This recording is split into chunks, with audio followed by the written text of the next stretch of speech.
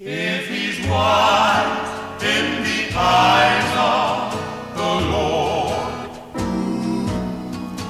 A man who is wise in the eyes of the world, making fortunes of wealth and fame. He may own mansions grand with abundance of land, and the whole world his name may proclaim. But a man who is wise in the eyes of the Lord will have riches this world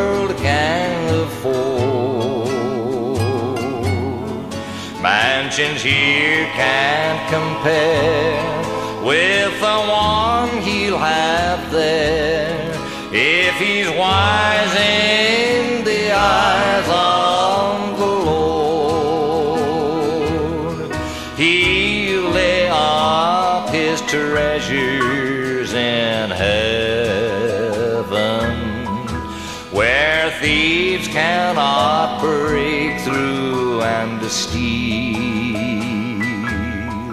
He'll walk every day in the straight, narrow way, and each vow to the Lord he'll fulfill. Yes, a man who is wise in the eyes of riches this world can't afford.